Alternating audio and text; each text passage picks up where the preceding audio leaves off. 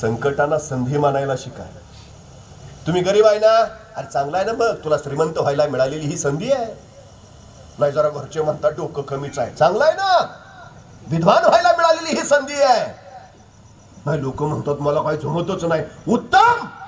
काहीतरी करून दाखवायला तुला मिळालेली ही उत्तम संधी आहे. कमतरता कशाला समजतो स्वतःला? तुमच्या पुढच्या या ज्या गोष्टी आहेत ना स्वतःमध्ये नाही अहो सचिन तेंडुलकरची उंची कमी आहे.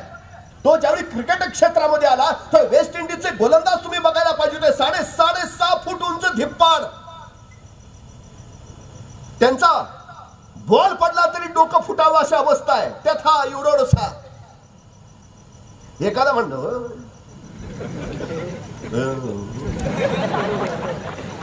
पण नाही स्वतःची उंची कमी आहे ही आपल्यातली कमतरता आहे. हे सचिननं कधी मान्यच केलं नाही. त्यांनी कमतरला स्वतःचं बलस्थान बनवलं आणि कमी उंचीच्या सचिननं त्या कमतरतेच्या बळावर स्वतःची कर्तृत्व उंची वाढवून घेतली हे लक्षात घ्या. कसले रडत बसता? आमची परिस्थिती नव्हती हो. वरण बफेकडं एक युवक सही मागायला गेला. वरण बफेनं त्याला सही दिली. पण सही बरोबर एक संदेशही दिला. काय लिहिलं त्या वॉरन बफेनं? इतरांच्या सह्या मिळवण्यासाठी त्यांच्या मागे पळण्यापेक्षा स्वतःला एवढे महान बनवा की लोक तुमची सही घ्यायला तुमच्या मागे पळतील हा युवक कोण? हा जन्माला आला तर हॉस्पिटलचं बिल भरायला सुद्धा त्याच्या आई वडिलांकडे पैसे नव्हते. तो जन्माला आल्यावर दवाखान्यानंच दूध पाजायची बाटली त्याच्या आई वडिलांना दिली. आणि ती दुधाची बाटली त्याच्या आईकडनं फुटली. त्यावेळी ती आई डॉक्टरांना हात जोडून सांगत होती ही बाटली भरून देण्या एवढी सुद्धा आमची ऐपत नाही. डॉक्टरांनी त्यांना घरी जायला सांगितलं त्या नवजात बाळाला घेऊन. ते दोन्ही आई वडील त्या डॉक्टर पुढे हात जोडून म्हणाले या मुलाला सांभाळायची आमची पात्रता नाही. आम्ही याला सांभाळू शकत नाही. एकतर तुम्हीच याला दत्तक घ्या नाहीतर कुठल्या तरी अनाथालयात ठेवा. आणि ते पोर जगलं पाहिजे जगवलं पाहिजे. म्हणून त्या डॉक्टरनं ते पोर एका राजदूताला दत्तक म्हणून दिलं. पोरग करामतीच होत. त्याडीच अडीच वर्षाचं असताना एकदा पायरीवरनं गडगडत खाली पडलं. येता येता कुंडीला धडकलं.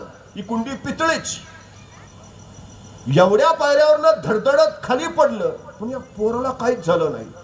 पितळेच्या कुंडीचे मात्र दोन तुकडे झाले. याला पहिल्या वर्गात घातलं पण पट्ट्या पहिल्याच वर्गात सात वर्ष वाचला. अभ्यासात लक्ष नव्हतंच अभ्यासात रसही नव्हता. काट्या फिरवणं तलवारबाजी करणं उड्या मारणं व्यायाम करणं खेळ खेळणं याचाच नाद याला. भयानक गरिबी भयानक परिस्थिती. मजुरीच करावी लागायची. पण चित्रपटाची आवड. एक चित्रपट लागला होता तो बघायचा होता. पण पैसे नव्हते. मग चित्रपट बघायला पैसे कसे मिळवायचे? त्या पट्ट्यानं चित्रपट गृहाच्या बाहेर स्वतःला शीर्षासनात उभा केलं. व्यायामाची आवड होतीच. शीर्षासनात उभा राहिला. किती वेळ? पाच मिनिटं दहा मिनिटं पंधरा मिनिटं किती वेळ एक माणूस डोक्यावर उभा राहू शकतो? एक तास दोन तास तीन तास चार तास. तब्बल पाच तास हा डोक्यावर उभा होता. आता हे रेकॉर्ड का केलं? किती तास उभा राहायचं याच्यावर नव्हतं.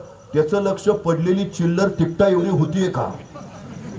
ज्यावेळी ती तिकटाच्या पैशा एवढी झाली त्यावेळी पट्ट्या खाली उतरला मग त्या पैशाचं तिकीट काढलं आणि चित्रपट बघितला. ज्याला चित्रपट पाहण्यासाठी सुद्धा असे थेर करावे लागत होते त्या युवकानं स्वतःच स्वतःची चित्रपट निर्मिती संस्था काढली. ज्याची स्वतः सायकल घ्यायची ऐकत नव्हती त्यांनी स्वतःसाठी तीन विमानं विकत घेतली. जो स्वतःचं गाव सोडून पैशाअभावी प्रवास करू शकत नव्हता त्यांनी जगातल्या वीस देशात स्वतःची टोले जंग घर बांधली. तो युवक नाहीत म्हणून आई वडिलांनी दवाखान्यात सोडलेला. त्यांनी तब्बल अडीचशे चित्रपटांची निर्मिती केली. तो जॅकी चेन तो जॅकी चेन सांगतो तुम्ही यशस्वी व्हायचं ठरवलं तर तुम्हाला जबाबदारी स्वीकारावी लागेल. आणि एकदा तुम्ही जबाबदारी स्वीकारली की ती जबाबदारीच तुम्हाला ताकद देईल. यश मिळतं फक्त जबाबदारी स्वीकारायला शिका बस. हे त्या जॅकी चेननं सांगितलेलं आहे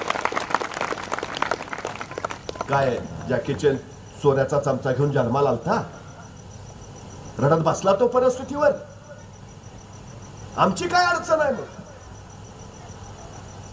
करू शकतो आम्ही हवं ते निर्माण करू शकतो ही गोष्ट लक्षात घ्या आणि निश्चित एकदा स्वतःची क्षमता लक्षात आली काहीही करू शकतो हे लक्षात आलं आपल्यात अफाट सामर्थ्य आहे अफाट ताकद आहे हे कळालं. की मग स्वतःवर विश्वास निर्माण व्हायला सुरुवात होते. एकदा स्वतःचा स्वतःवर विश्वास बसला की मग आत्मविश्वास तयार होतो. हा आत्मविश्वास मग निर्धार देतो. एकदा तुम्ही निर्धार केला की हा निर्धार मनोनिग्रहाचं रूप घेतो. आणि एकदा मनोनिग्रह झाला मग तुम्ही जिद्दीनं चिवटपणानं पुढं पुढं जात राहता. संकट किती येऊ देत अडचणी किती येऊ देत परिस्थिती कशी असू देत तुम्हाला फक्त आणि फक्त ध्येय दिसत राहत तुम्ही चालत राहता चालत राहता. जोपर्यंत तुम्ही जिंकत नाही तोपर्यंत तुम्ही झेपावत राहता. हे सगळं स्वतःच्या हातात. यशाचा सर्वोत्तम साधा सोपा मार्ग काय माहिती आहे? पाच किलोमीटरची शर्यत जिंकलेल्या एका धावपटूला विचारलं तुझ्या यशाचं रहस्य काय? तो म्हटला मी थांबलो नाही. बस. यशाचं सर्वोत्तम रहस्य मी थांबलो नाही. चालत राहिलो फक्त माझ्या बरोबरच्या काहींनी सुरुवातीला भयाने वेग घेतला पण पुढे गेल्यावर दमले थांबले. काय काहींनी मध्येच ब्रेक घेतला थांबले. काय काहींनी एकदम स्पीड घेतलं थांबले. मी फक्त सतत चालत राहिलो. स्थिर बुद्धी आणि पोहोचलो. कुठलीही गोष्ट करायची असेल फक्त सातत्यानं चिवटपणे करत राहा. खर तर दगड भयानक कठीण असतो. पण एकच पाण्याचा थेंब त्याच्यावर सतत सतत सतत पडत राहतो. आणि तो पाण्याचा थेंब एवढा असा त्या अत्यंत कठीण दगडाला सुद्धा छिद्र पाडतो. तुम्ही केवढे आहात याला महत्त्व नाही. तुम्ही किती आहात याला महत्त्व नाही. तुम्ही सातत्यानं किती वेळ कोसरत राहता हे फार महत्वाचं आहे. तुम्ही किती वेळ कष्ट करता किती वेळ मेहनत करता हे फार आणि फार महत्वाचं आहे. त्यामुळे फक्त करत राहा काम करत राहा सतत करत राहा. तुम्ही यशस्वी होता हे लक्षात घ्या. उत्तम. तुम्ही सैन्यात जाल तुम्ही पोलीस म्हणून काम कराल. अत्यंत उत्तम क्षेत्र निवडले. नाहीतर हल्ली पोरं काय काय सांगतात? एखाद्याला विचारलं काय होणार आहे?